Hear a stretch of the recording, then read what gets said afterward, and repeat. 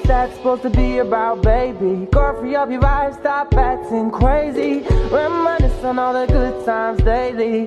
Try and pull, the got me acting shady.